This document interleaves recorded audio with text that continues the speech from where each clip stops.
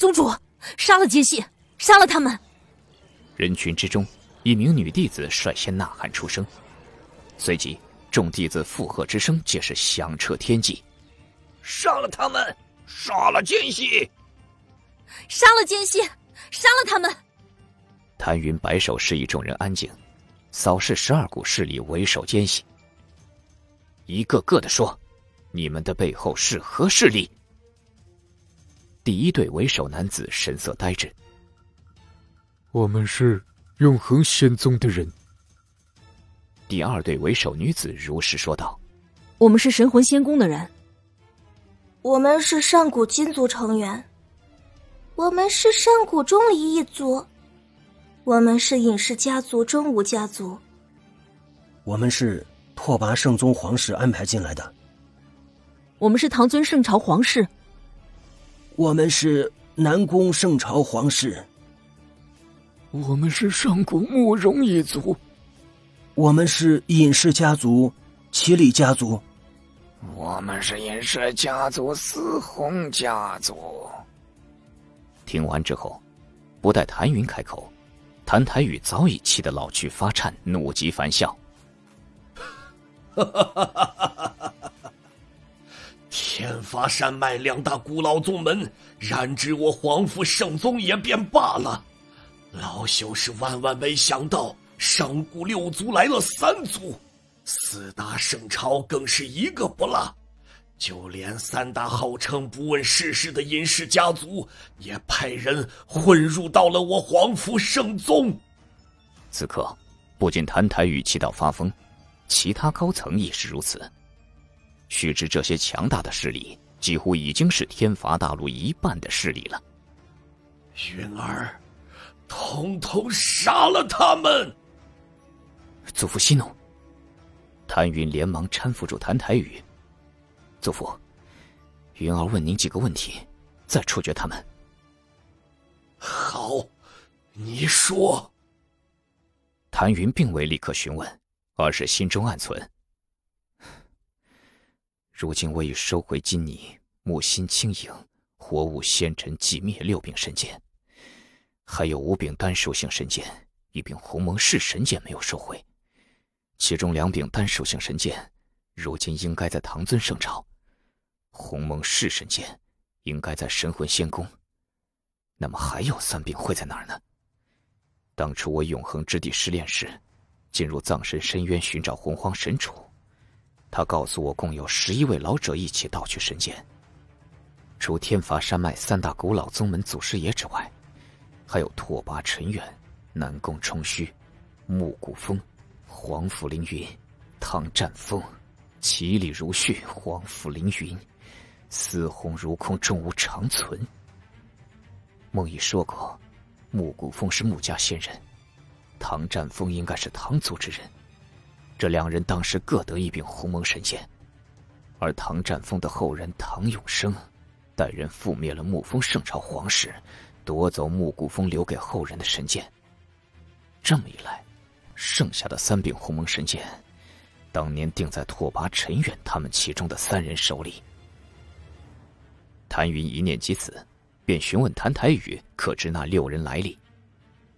谭台宇虽不知谭云此刻问这些做甚，但还是耐心解释：“云儿，拓跋陈远是拓跋圣朝皇室曾经的圣主，南宫冲虚也是南宫圣朝曾经的圣主。”皇甫凌云是皇甫圣朝曾经的圣主，同时还是祖师爷同父异母的大哥。只是此人心狠手辣，我宗祖师爷被迫脱离了皇甫圣朝，后来实力大增，才建立了皇甫圣宗，与皇甫圣朝反目成仇，成为了死敌。至于司红如空、其离如旭，还有中武长存。三人乃是天罚大陆三大隐士家族的家主。谭云点头表示明白，同时他也知道，今后在这些人的圣朝和隐士家族，便可找到剩下的三柄鸿蒙神剑。云儿，莫非是发生了何事？你询问这些干什么？祖父，云儿只是忽然想起了一些事情，所以才有此一问。嗯，云儿，你快将奸细处死后，好好和祖父说说。你之前说玄仲长则五十载，短则二十年，还会回来，是何意呀？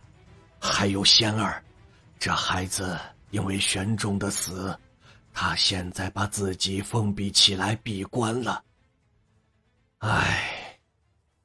传音此处，谭台宇心痛的说不出话来。祖父，待宗门安定下来，云儿会去找仙儿的。谭云传音过后，神色陡然一肃。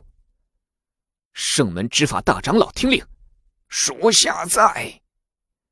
将这些奸细带走，统统杀了，尸体扔在山间喂妖兽。属下遵命。宇文峰君领命之后，便叫来一千六百名执法核心弟子，将一群奸细带走。谭云则腾空而起，凌空立于千丈虚空，发丝飞舞之际。释放灵石，笼罩众多弟子。